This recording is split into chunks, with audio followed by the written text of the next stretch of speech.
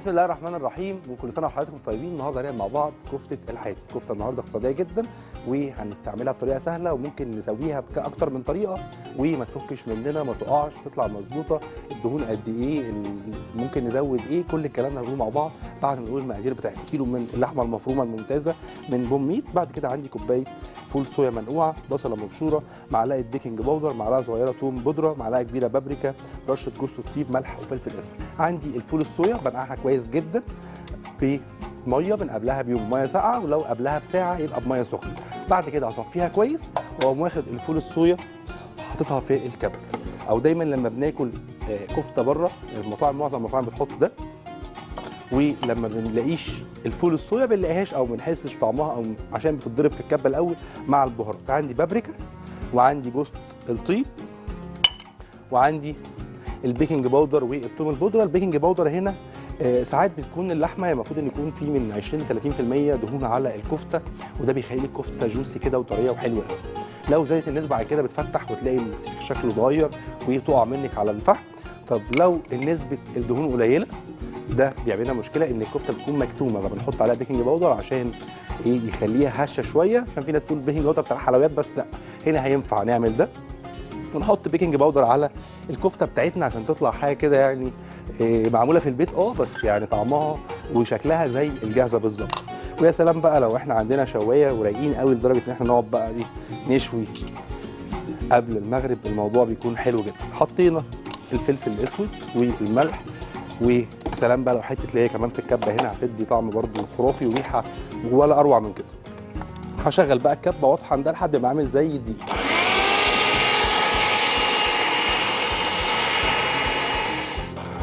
اتأكدت كده كويس إن الفول الصويا اتطحنت حلو قوي عشان في الآخر لو ما طحنتش كويس هلاقيها عاملة زي الكور في الكفتة بعد ما الدهون بتاعتها تسيح طيب عندي البصلة. بنحط البصلة وبنعمل نفس اللي أنت بتقول عليه ده في الكفتة بس بتفك مننا عشان حضرتك بتنسي وتحطي البصلة بالميه بتاعتها. أي حاجة فيها مية لازم أشيل المية بتاعتها عشان ما توقعليش الكفتة على النار أو على الجريل بصوا الفول الصويا يعتبر بالبهارات ناشفة خالص أهي. عندي بقى البصلة. وبنعمل كده بالظبط بس بتقع مننا بسبب مية البصل.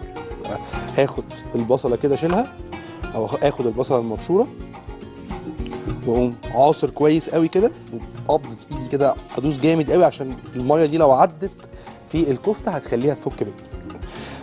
جامد قوي كده لحد ما تبقى التفل بس ولو في أي حتت كتيرة في التفل في بعد ما أبشره أشيلها خالص عشان ما تقعش كده في الأكل بتاعي بتعض. يعني واقوم مقلب كل الكلام ده مع بعضه جايب اللحمة. ويفضل إن تكون اللحمة متجمدة شبه متجمدة كده عشان آه، ما تقعش مني برضو وأنا بعملها. بعد كده اقلب بقى كل الكلام ده مع بعضه. لو عندك عجان ممكن تحطيهم في العجان كده إيه بسلاح الكف لفتين هيقلبهم كويس. أقلب بقى حلو.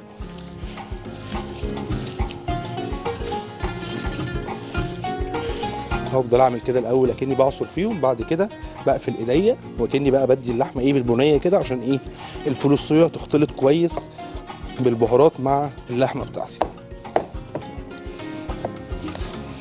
خمس دقايق بقى نفضل نقلب كده لحد ما نظبط الخلطة بتاعه الكفتة بتاعتنا. طيب عايزين بقى نعمل السياخ عندك السيخ بتاع الشوايات الكبير ده هينفع تشك عليه. عندك خلة الشيش الكبير هينفع تشك عليها. عندك ال- المسن بس هاخد كور الكفته كده اطلع منها الهواء وأفضل إيه؟ ادوس عليها. كل ما الكفتة تكون ساقعة كل ما هتبقى أحسن في الشك. لازم أفضل أخرج الهواء من كور الكفتة بتاعتي كده. ممكن افرم شوية بقدونس وأحطهم عليهم برضو لو أنا حابب أعمل كده. كفتة بيتي بقى. فلازم إيه؟ ندلعها يعني. اطلع الهواء وليه عملت الكور دي هوريكم. ليه أنا عندي خلة الشيش الكبيرة قوي دي وعايز أشك عليها. بعد ما طلعت منها الهواء كده هبتدي أكني بعمل بإيديا كده عشان تبقى عاملة معايا زي الصباع. وبعد كده أقوم مدخل السن هنا في النص والسيخ برضو بيكون بنفس الحجم ده وأقوم جاي قبل ما أعمل ده أقوم حاطط إيدي في مية البصل هنا عشان ما تلزقش في إيديا من الدهون اللي فيها مثلا وتديني طعم كويس. ممكن أحط ملح وفلفل أسود على آه، مية البصل وممكن أخلي الملح والفلفل الأسود للآخر بعد ما تخرج من الفرن أو بعد ما تطلع من الجريل أو مرشش عليها كده يبقى إيه ما حطيتش كتير ملح وفلفل أسود بما إني حاطط فلفل أسود على الخلطة. بصوا بنعمل كده ونقعد نفعص فيها زي ما أنا بعمل كده بس ما بتظبطش. الفكرة كلها إن أنا بإيديا بصوا بكلوة إيدي كده بقفل عشان أعمل ده. بنعمل ده وبتقع عشان ما بنقفلش صوابع الكفتة من الجناب. يبقى لازم بإيديكي كده تفضلي تلمي اللحم عشان يقفل على العود أو السن اللي أنا بعمل عليه. أهو كده أو بإيديا الناحية التانية وأعمل كده أو بإيديكي اقفلي دول. بعد كده بنساوي بعد كده بنزل على الحتة الأخيرة. مش عايز الصباع كبير قوي كده أقوم جاي في النص بايديا أكني بمسك الحركة دي أهي أقوم جاي هنا كده. فتحت أرجع برضو بايديا تاني أقفل زي ما كنت قافل من فوق ومن تحت وأنا كده عملت سيخ الكفتة زي الكبابجيه بيعملوه بالظبط. ممكن بقى اتنين ممكن تلاتة ممكن زي ما أنتوا حابين. ممكن آه، شكل تاني كده بيتعمل زي تخريزة. ما عنديش خلة شيش وما عنديش سيخ, آه، سيخ بس عندي المثلا نفس الموضوع أهو. اعمل طلع الهواء كده وإيدينا في مية البصل واقوم جاي هنا على المسن كبير بقى قصير ينفع واهو نفس الموضوع. ممكن أعمل الصوابع الكفتة الكبيرة قوي دي بما إننا بقى في الصيام فهنكافئ اللي هنأكله فنعمل له حاجة يعني إيه صباع محترم يعني.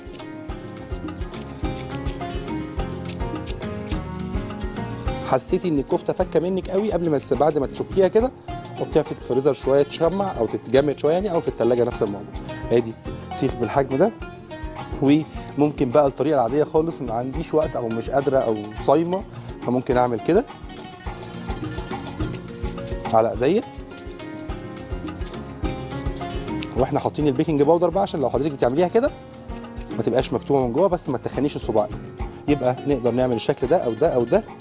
ولو إحنا عندنا لية ممكن ندخل بيها الكفته في الآخر الموضوع هيبقى حلو قوي سخن كده الجريل كويس قوي لأن الجريل لو ما كانش سخن الكفته تلزق فيه والموضوع يبقى تعبنا ده كله راح على الفاضي. بعد ما تسخن الجريل شوية زيت وننزل بقى إيه بصوابع الكفته بتاعتنا كده. وطول ما الكفته الصباع ماشي معاكي ما بيفكش مش محتاج إن إحنا نحطه في الثلاجه أو في الفريزر. بس لو حصل معاكي هتدخليه من الفريزر شوية بس تشد والموضوع هيبقى حلو قوي طيب عايزين بقى نجهز فحماية عشان نفحم كل الكلام ده إحنا مش على الفحم جنبينا ونجهز صينية عشان وفويل أو صينية بغطا عشان نكتم الكفتة تاخد ريحة الفحم. لسعنا كده الكفتة بتاعتنا بعد كده أقوم رايح بقى على الصينية واخد كل الصوابع بتاعتي دي كده. بسم الله. وأقوم مشغل الفرن ومدخلهم الفرن بقى إيه مع بعض كده كلهم. واولع بقى الفحم عشان إيه ادي ريحة الفحم لكل الكفتة بتاعتي. ادخل دول الفرن ونشيل بقى الشواية خلاص. ونولع فحماية صغيرة كده على البوتاجاز بتاعنا على ما الكفتة بتاعتنا تكون استوت كلها كويس. استوت كده الكفتة بتاعتي في الفرن. هفتح بقى بسم الله الرحمن الرحيم واطلع صاج الكفتة من الفرن كده. أنا متأكد تماما إن مهما كان الصباع بتاعي كبير استوى واستوى كويس ويا دوبك بس قلمته على الجريل. عندي بقى طريقة حلوة قوي بتفحم لي الكفتة بتاعتي وتديني ريحة وطعم حلوين. بص هجيب أي حاجة كده عشان قلنا الرماد بتاع الفحم ده مضر جدا. وأقوم واخد شوية الدهون اللي نازلة من الكفتة. بصوا اللحمة يعني ما كانش فيها نسبة دهن عالية قوي. فهاخد شوية بس كده على بولة أو على ورقة فويل. وأقوم حاططها هنا. وأقوم جايب غطا. أو فويل على قد الصينية. وأقوم جايب الفحماية بتاعتي. بسم الله كده. وأقوم واخد الفحماية على طول على الطبق ده. وأقوم مغطي على طول كده والدخان طالع. أول ما يطلع واقوم قافل. عشان آخد ريحة الفحم. ممكن تعملي كده في الشيش طاووق في الصدور المشوية في الفراخ المشوية في الكفتة. كل الحاجات دي بتظبط الطعم قوي يعني. وأقفل. ولو استعجلتي أو كنت عايزة تخلصي أكلك من بدري قوي كله هتاخدي الصاج ده زي ما هو تخليه في الفرن وهو مطفي أو مشتغل على حراره هادية قوي أو ممكن نطلعه بعد كده نسخن الكفتة في الميكرويف بس أعتقد يعني الميكرويف مش هيكون حلو قوي زي الفرن. هنسيب ده 10 دقايق وبعد كده نرجع نقدمه عشان يكون بقى خد من الكفتة من الفحم الكفتة بقت ريحتها زي المشوية. وبعد كده طلع شوية بقدونس بقى على شوية سمبوسك spring roll بوم ميت يعني عاملة معانا الصح يعني في كل المنتجات بتاعتها.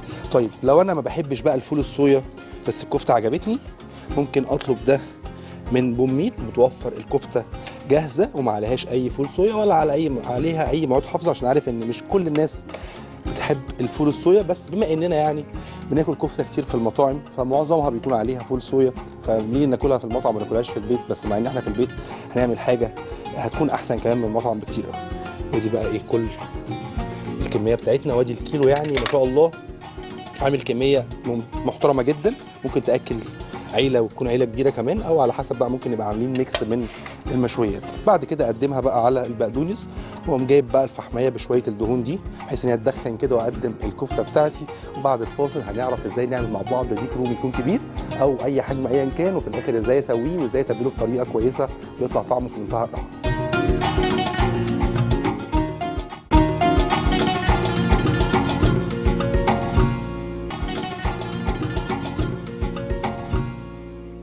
أهلا بيكم مره تانية بعد الفاصل. العزومات دايما بتحتاج إن إحنا نحط حاجة كده قيمه على السفرة فهنعمل مع بعض ديك رومي وزن من 3 كيلو ونص ل 4 عندي أول حاجة التتبيلة. عايز أخلي تتبيلة الديك رومي تطلع حلوة فبحط عليها برتقال عشان نضيع طعم الزفارة شوية. لو في سنة يعني في ناس تقرف من ريحة اللحوم فالبرتقال هيخليه طعم اللحمة مسكرة. وفي نفس الوقت بشر البرتقال بيخلي طعم وريحه جامدين قوي في التتبيلة. تعالوا نشوف محتاجين إيه. محتاجين ديك رومي يكون أي وزن موجود. بعد كده عندي برتقانتين عندي روزماري زعتر أربعة من البصل اتنين فص ثوم كوباية مية كبيرة ثلاث معالق كبار من الصلصة معلقتين كبار من الزيت معلقتين كبار من الخل ملح وفلفل أسود. ولو كان وزن الديك الرومي أكتر من كده من 4 كيلو يعني أو 5 كيلو فهنضرب كل الحاجات دي في اتنين عندي الكبة عشان أسهل عليكي التتبيلة قوي يعني. بحيث إن دايما الديك الرومي ما بتعملش غير في مناسبة أو في عزومة فأنا هجيب البصل وأحط وأقطعه كده على أربعة وأحطه فين؟ في الكب. يبقى أول حاجة البصل. بعد كده محتاج سكينة رفيعة وحامية عشان اعمل بيها الديك من جوه. أشك بيها الديك من جوه بحيث إن هو يبقى إيه؟ يبقى مستوي سوا كويس قوي ومحتاج انتصاج فويل. والفرن يكون شغال على درجة حرارة 180 آه عشان يستوي معايا كويس. حطيت البصل كده وقطعته على أربعة. عندي التوم فصين توم عندي الروزماري والزعتر. هاخد الورق بتاعهم كده. وأقوم منزله. كل ده هتعمليه فين؟ في الكب مع بعض كده الروزماري والزعتر. مش عايز أحط العيدان عشان سلاح الكبة مش عايزه يبرد مني من كتر الاستخدام. حطينا الزعتر والروزماري. ممكن العيدان دي نخليها مع الأرضية ممكن بقى بصل خضار أي حاجة إيه موجود. بعد كده الخل أهو معاهم. نجيب شوية زيت. معلقتين كده.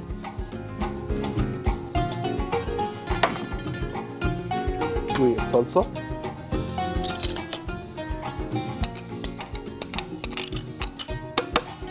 ناقصنا كده ملح وفلفل أسود.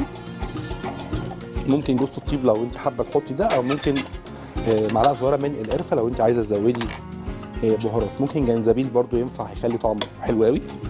فلفل اسود ملح. والملح بقى هنا هنحطه برضو على كمية الديك وكمية الخضار أو الأرضية اللي إحنا هنحطها. بعد كده هقفل الكبة وأشغل بقى الكلام ده. مش عايزه ناعم قوي عايزه خشن شوية. شغل بسم الله.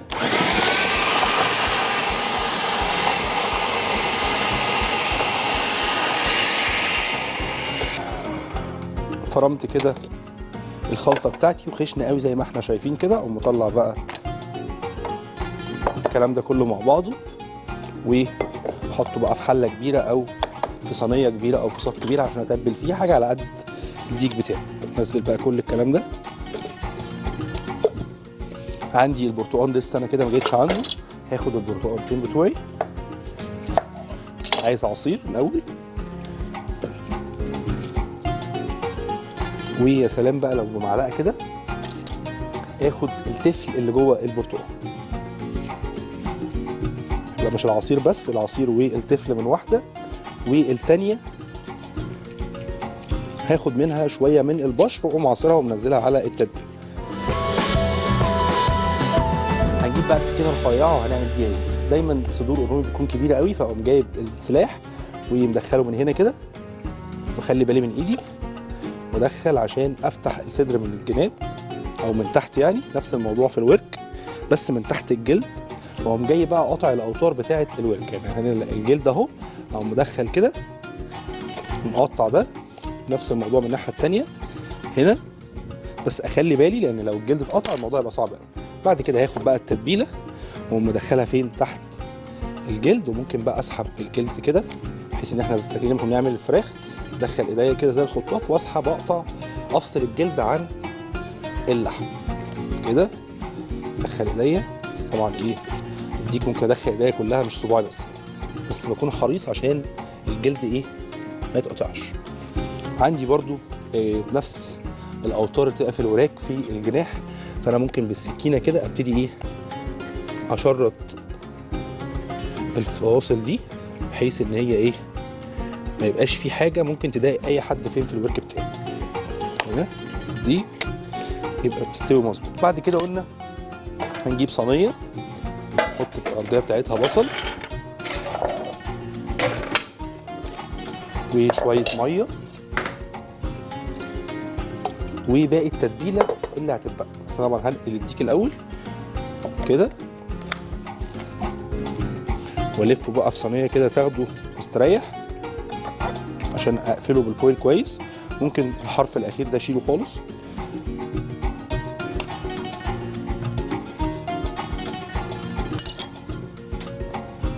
بعد كده هجيب بقى التتبيلة وابتدي أدهن كل الديك بتاعي بشوية التتبيلة الباقيين والزيادة أنزله في الجناب كده على الديك وأنا بنزله. خد حطه في البطن بعد كده عايز خيط دباره عشان أربط دول مع بعض لأن الجلد لو سبت الديك دخلت الديك الفرن كده فدول هيتحرقوا وأنا مش عايزهم يتحرقوا فلازم إيه اقوم رابط دول ببعض قلبنا كده كويس الجلد لازم يكون مغطي الصدر كله بعد كده اقوم جايب الخيط ورابط رجل. اقوم شادد هنا كده عقدة كمان. اقوم رابط الاتنين بقى على بعض. عكس بعض كده الرابطة عشان إيه يفضل متكتف التكتيفة دي ما يخش الفرن ويفصل طب أنا لو دخلته الفرن كده مش هيستوي كويس وأنا عايز أتأكد تماما إن هو استوى لازم اوطي أنا حطيت المية دي مع التتبيلة وبقيتها والصينية والأرضية كل الكلام ده عشان بقى أقوم جايب ال foil ومقفل كويس. وما ينفعش خالص إن يبقى في حتى نقطة أو خرم بسيط قوي يخرج منه الهواء. foil بقى واللي أهم من ده كله إن ال foil ما يلمس الديك عشان لو لزق فيه ممكن يقطع لي الجلد لما أجي احمر اقطع بس كده بزيادة الأول وبعد كده كتفه كويس بالفويل وأدخله الفرن. يبقى اتنين كده أهو. ادي الصينية بتاعتي.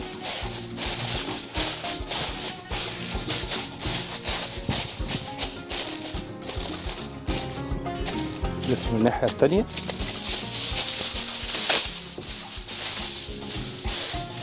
وأقوم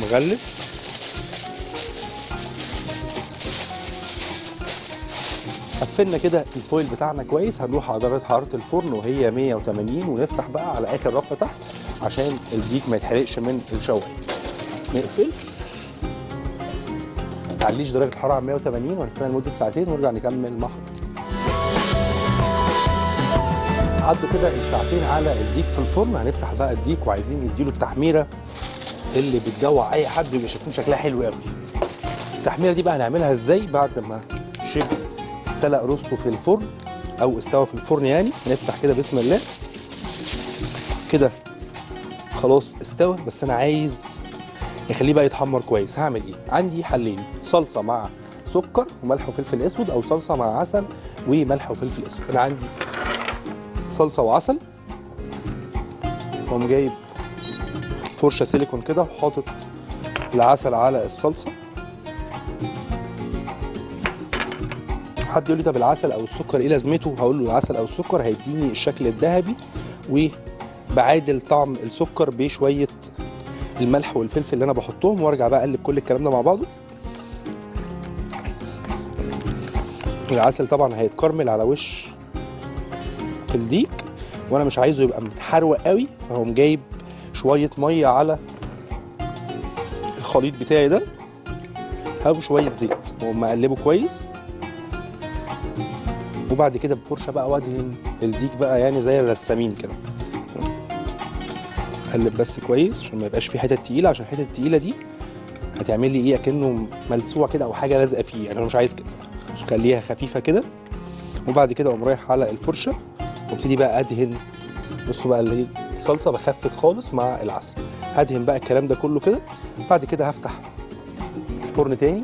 واعلي درجة الحرارة وأتأكد كويس قوي إن الشواية بتاعتي مش ضاربة في الصدر عشان ما يتحرقش مننا ولو هي قريبة فأنا عايز أحمر بس فهشيل الشبكة وهعمل كده عشان أنا عايز الوش بس اللي يتحمر. أنا محتاج أشغل الشواية بس أحمر وش الديك ويبقى بعيد عن الشواية. أدخله الفرن كده وأتابعه بقى ألفه وأظبطه عشان ساعات بيبقى الفرن فيه شواية عالية من جنب وجنب لحد ما يتحمر كله يبقى زي الفل. عملنا الديك الرومي دخلناه الفرن وسيبناه يتحمر والكفته. والفحم بقى في التقديم الموضوع لازم تبقى حاجة عظمة كده وطلع دخان عشان نفتح نفس كل الناس اللي بتاكل معانا. بعد كده هنروح بقى نشوف إيه العظمة اللي خارجة من الفرن دي. بسم الله الرحمن الرحيم. خلي بالك كويس قوي عشان المية أو الدهون اللي نازلة من الديك من الفرن عشان ما تتقلقش عليكي لازم تمسكي حاجة تكون قوية كده. بعد كده همسك بقى الديك بحاجة تقيلة عشان ما يقعش مني. واخلي بالي من الدهون اللي نازلة منه دي تكون سخنة جدا وبعد كده أروح بقى على صينية العظمة. عملنا قبل كده صينية السعادة وكانت عاجبة ناس كتير قوي دي بقى صينية العظمة حاجة كده آه، جميلة جدا. بعد كده عايز أعمل شو على السفرة بتاعتي بحيث إن عندي ضيوف بقى أو عندي العيلة كلها متجمعة وعايز أقدم لهم كويس. هحط الفويل وفيه ليا أو فيه شوية زيت وأقوم نازل عليه بالفحم كده بحيث إن بقى صينية العظمة يعني تبقى حاجة كده بنعملها في المناسبات الكبيرة اللي هو يعني بنعمل شو قدام كل أهلنا وضيوفنا. كل سنة وإنتم طيبين ورمضان كريم علينا وعليكم. وبكده عملنا الكفتة المشوية وعملنا الديك الرومي كده. خلاص خلصت حلقتنا النهارده. يا رب تكون خفيفة عليكم وتعملوا ده الفطار دايما على التجمعات. ورمضان كريم علينا وعليكم. وخلصت حلقتنا النهارده. أشوفكم بكرة في نفس الميعاد في كل يوم جديد مع محمد إبراهيم والسلام ختام